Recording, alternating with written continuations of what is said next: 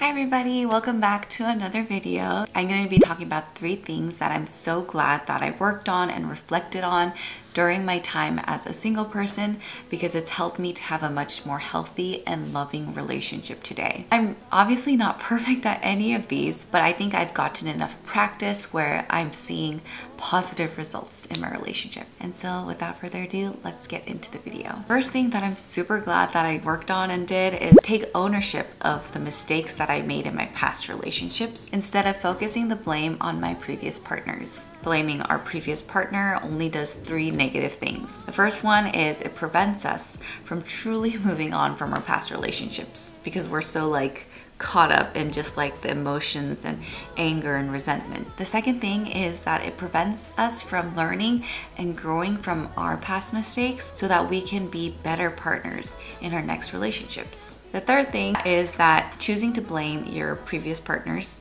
gets us into the practice of self righteousness instead of practicing becoming a more teachable, curious, and emotionally safe person during conflicts with our future partners. So I know it's really tempting that you want to hold on to your ex's wrongdoings, but you're only holding yourself back and keeping yourself from growing, healing, and also, most importantly, keeping yourself from controlling the only person that you can control, which is yourself. The second thing that I'm super glad that I practiced while I was single is to be faithful in the little things and put weight into my words. Whether it was a simple, hey, we should grab lunch sometimes, or I will do the dishes today, or just simply not being late to meetings, these little promises that I made and whether I kept those promises or not, I believe said a lot about my character. If you're someone that just says things without much follow through, people will unconsciously start to think of you as a less reliable and less trustworthy person.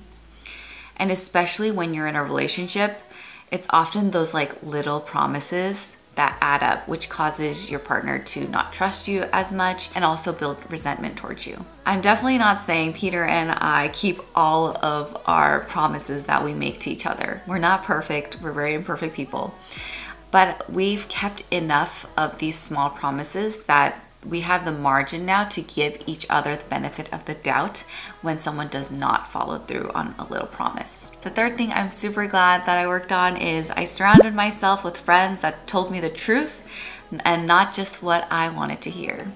The friends that tell you the truth will help you navigate your future romantic relationships more soberly and wisely and more lovingly instead of going straight to bashing on your partner. Good friends try their best to understand your side, but can also help you understand where your partner may be coming from as well, especially if your partner is a pretty like healthy person. Obviously, if they are clearly in the wrong and like hurting you, abusing you, true friends will be able to call that out too and even encourage you to leave the relationship in a loving way, right? So these truthful friends will, you know, not only help you out in the future, but right now get you into the practice of hearing feedback and grow you into a safer person so that your future partner could be more, feel more safe in being vulnerable with you in confronting you and giving you feedback and working through conflict with you. So anyways, those are the three things that I'm super glad that I practice. I hope they will be helpful to you guys in some way. Thank you for watching and I'll see you guys next time. Bye!